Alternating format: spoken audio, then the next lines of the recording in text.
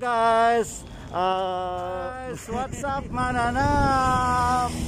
Kasama ko ngayon si Rada Vlog. Kakatapos namin mag ano guys, nagpagaling doon sa barbershop. Ayan ngayon ay gagawa kami ng ano, magwa-walking vlog kami kasama si Rada Vlog. Ayan. At uh, to accept the challenge of the Mats of San Diego. Kaya tara, simulan na ang paglalakad. Takbo! Ayan, ayan, ayan, ayan, ayan. Salita ka Hello guys! Nandito kami sa ilalim ng mainit na araw. Challenge sa amin ang walking vlog under the sun, the heat of the sun. Ang init na. Init! Alas tres! Yan, Alas tres! to accept the challenge of kaninong challenge to? The mast of The San Diego, Mads of San Diego. Ayan, na. Pareho, ah, guys, ang sakit ng paa ko kasi may ano, kumain kasi ako ng monggo, baka, ayan, yung paa ko. Gout, gout is attacking. Yeah, inaatake na ako ng gout ngayon. Ayan. Ito na yung day 6 na walking vlog namin at kasama ko nga si Rada Vlog. Ayan, Rada Vlog is Rada is apo niya. Yes, Pero siya yung may ari ng channel. Ayan, connect with uh, Rada Vlog. Init. Grabe, parang I think 42 degrees ito, no? Hmm. Sobra. Sobra pa yata. Grabe.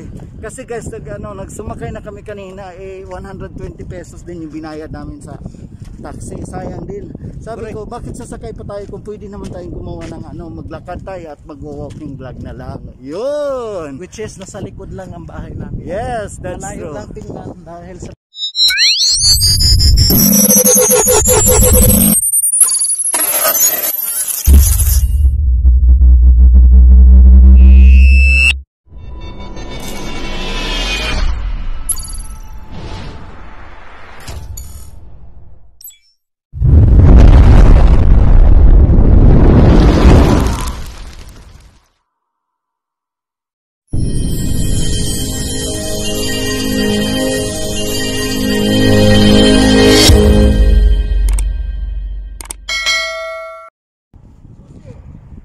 Ayan ang magandang puno.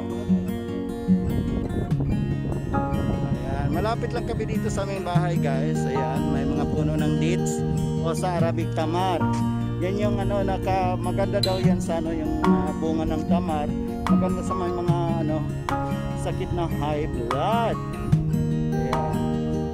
At saka hindi ka daw magutom kagad sa dates na yan. Pag kumain ka ng dates, hindi ka magugutom kagad.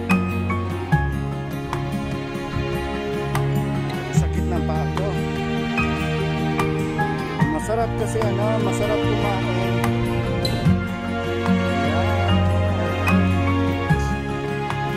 Ayan guys, parang hindi ko na makikita yung mukha ko sa sobrang init. Ayan, Dada, dali. Ang init talaga. Ayan, ang oras ko yun ay mag-alas 4 na lang. Hindi na kaya ko maglakad. Challenge yan. Ito yung pinakaunang challenge niya kay Damat sa San Diego. Correct. Pinilit kong maglakad na ano kinaya ko dahil sa mayroon akong sukot. tungkod, meron siyang na, nag, nakatungkod siya guys. Kasi ako din ay kailangan ko rin ng tungkod kasi ano eh, ang tawag dito. May gout din May ako. gout din siya. ah, ito yung tinatawag na arthritis kasi bawal yung mga kumakain kasi ako ng mga bawal more on beans like uh, beef, red meat, ayan. Di masarap kasi yung bawal, ayun. Kaya sinumpong na naman ang lolo nyo. Sakit talaga. Pero anyway, kaya pa to. So, kailangan namang bumili ng gamot ng pain reliever, no? Yan, para sa gout. Ayun ako. Ang init. Yan. Pero kaya yan. Tiis-tiis lang pag may time. Ay, yun, balik si lolo.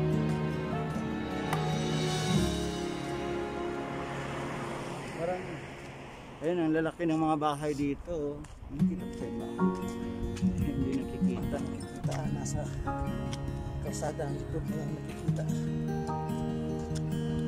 Ayan, sa tatlong ano, sa tatlong buwan yan nagkukulong kami sa kwarto. Ngayon lang kami nakalabas para magpagupit kasi nga Sarado naman yung ano. Yung tatawid tayo. Sarado ang gupitan. Sarado ang pagupitan kasi walang init doon banda.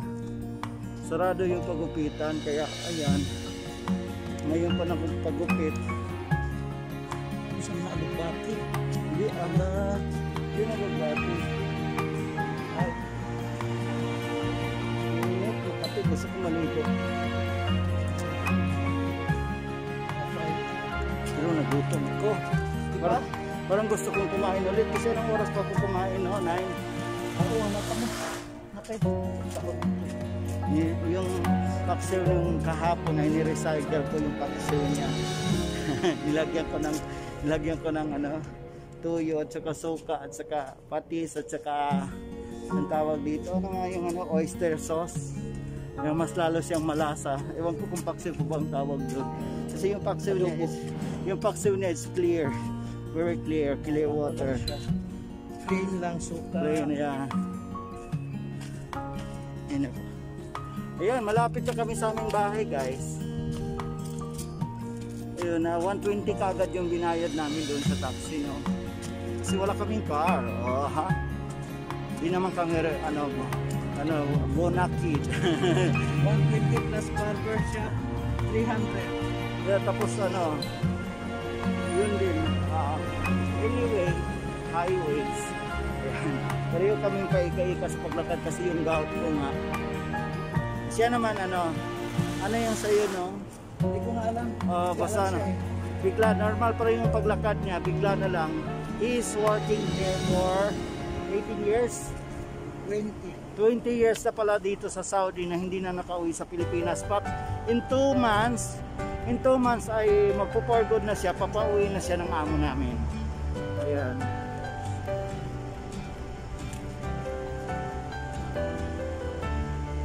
Eh, tsaga-tsaga lang talaga. Ako rin ay gusto ko na rin umuwi. Nakakapagod din dito sa ibang bansa, no? malayo sa pamilya. Mahirap ano, ma yung malayo sa pamilya, magkasakit ka, walang mag-alaga sa iyo. Kailangan na mas okay pa rin. Ah, di bali nang walang pera.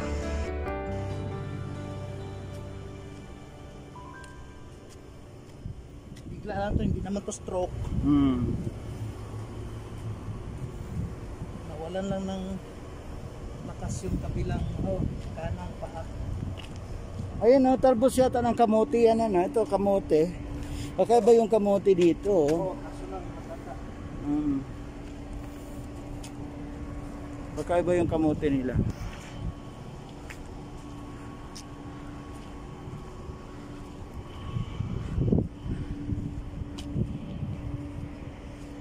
Yan, nandito kami kasi sa ano, ah, mga bahay ng mga Saudi. Yan, nabibilong kami dito sa ano, village sa mga Saudi Arabia. Yung apartment namin ay ano dito sa village mismo. Fight, fight. Video atong building. Ano, kana mo namang building. May nakapila. Ah. Wait. Yung building namin, ayan. Diyan kami nakatira sa baba, tapos yung home care naman ay sa taas. Ayan, dati wala pang daanan papunta, ikutin talaga namin yan. So maglakad ka pa. Pero ngayon may access na siya na mas malapit, kaya mas madali na yung pag-ano namin. Yung bahay namin is nasa taas na ngayon. Tapos nilipat yung home care ay nasa baba na naman. Ayan.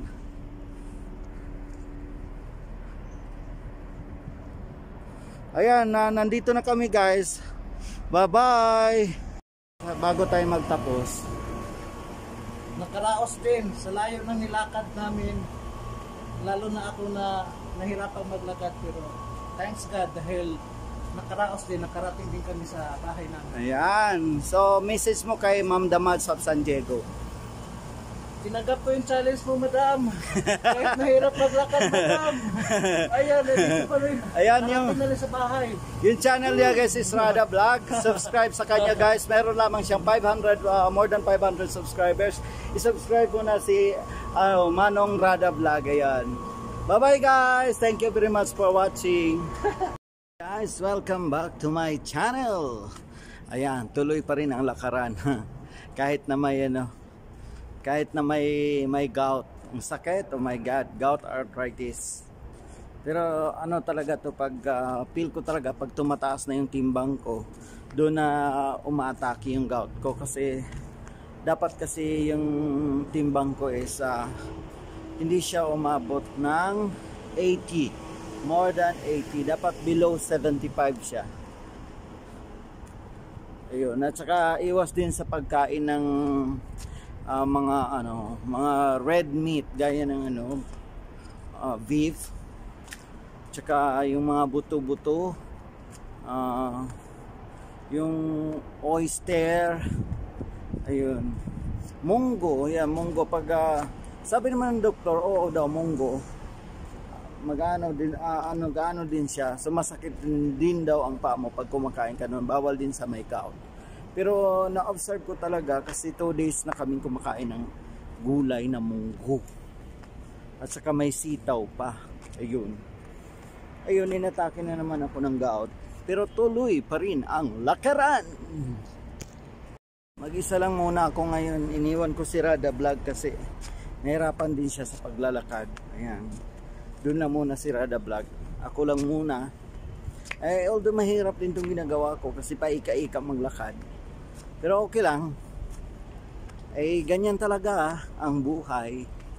Tuloy lang ang laban. Sabi nga ni Jack Brekerek, just do it. Oh, just do it. Just do it what you want. Gawin mo kung ano yung gusto mo. Kung saan ka masaya, yan, lakad lang ng lakad. Ayan, shout out pala kay Amicus Vlog and Music. Ayan. Mega shout out. GM Vlog TV. Picolina TV. Lina Works. Mega shout out. Ellen Dushastic. Joy M TV Lalabs. Team Elia. It's me, Yayan. Haley TV. Wina Ayala, GE Vlogs, Joanna Nisi, mega shout out. And mega shout out, Renit TV, Vlog, Sophie and Che Diary, Mami Nelda's Vlog. Ayan, saka na yung iba guys, mamaya. Yan, 70%. Nagsisale sila. Ayan, naglalakad ako guys. Bibili ako ng gamot. Hanap ko ng pharmacy. Pharmacy. At dito na nga tayo sa pharmacy para bibili ng gamot para sa gout.